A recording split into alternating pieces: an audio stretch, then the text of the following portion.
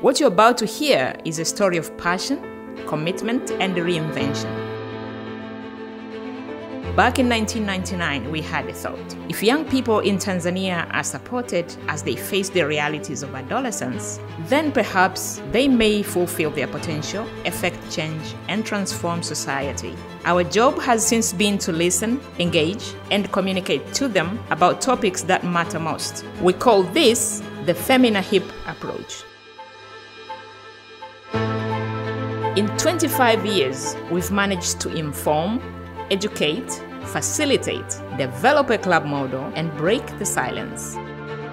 Today, over 15 million young people across 28 regions in Tanzania have access to a space created by us where they can explore issues, share perspectives, and act.